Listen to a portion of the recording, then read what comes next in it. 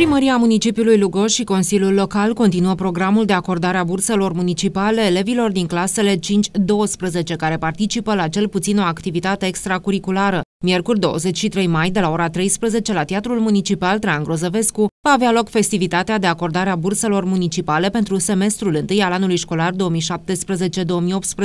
În funcție de specificul activităților extracurriculare desfășurate de elevi, bursele municipale sunt împărțite în două categorii, burse municipale civic-culturale și burse municipale sportive, fiecare dintre acestea având câte trei subcategorii, de excelență în valoare de 100 de lei pe lună, de performanță în valoare de 75 de lei pe lună și de merit 50 de lei. Pe baza situațiilor transmise de consiliile de administrație ale școlilor de stat de pe raza municipiului, primăria Lugoj a aprobat acordarea 45 de burse civic-culturale și 27 de burse sportive.